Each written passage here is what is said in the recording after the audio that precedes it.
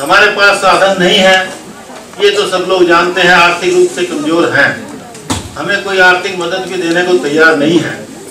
दूसरी जो हमारी कमज़ोरी है, ग्रामीण स्तर पर सबसे बड़ी हमारी रोज़गार की कमी है।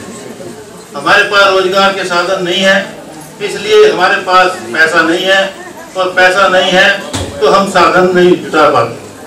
तो साथियों, हमें रोज़गार की तरफ़ भी ध्यान देना चाहिए। हमें इकट्ठे होकर के ऐसे रोज़गार करने चाहिए जो कोऑपरेटिव बेस पे हों और आसानी से चल सकें।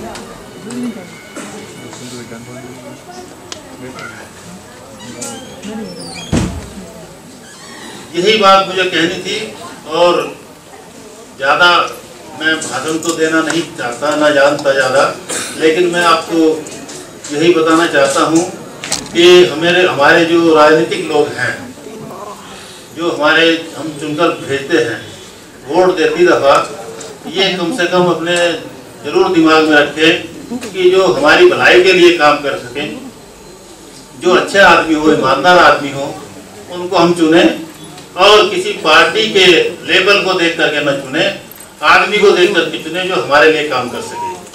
ये राजनीति में जो है थोड़ा सा सावधान रहने की ज़रूरत है। वोट का अधिकार हमें दिया है बाबा साहब ने तो उसका इस्तेमाल भी सही हो, ये ज़रूरी है। और सब लोग साथ मिलकर के चलें तो ज़रूर जो है उसका मुकाबला हो सकता है।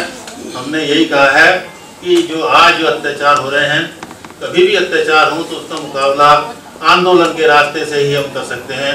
और आंदोलन के लिए एक चीज़ मैं और कहना चाहूँगा कि हमारे ऊपर हथियार चलाए जा रहे हैं।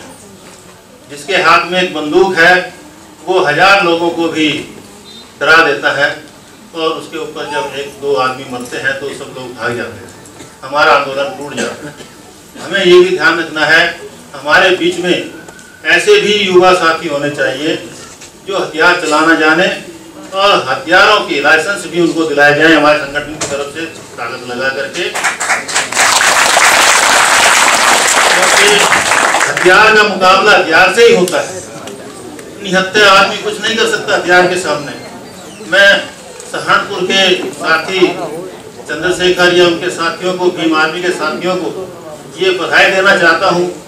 जेल में हम कोई बात नहीं है। जेल से कुछ नहीं बिगड़ेगा।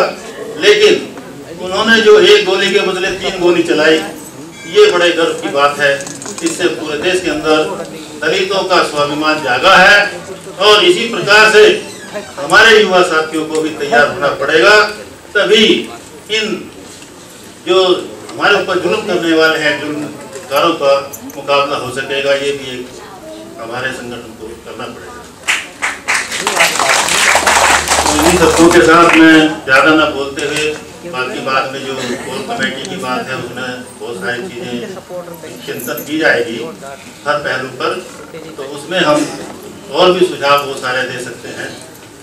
तो इन्हीं शब्दों के साथ धन्यवाद सबका।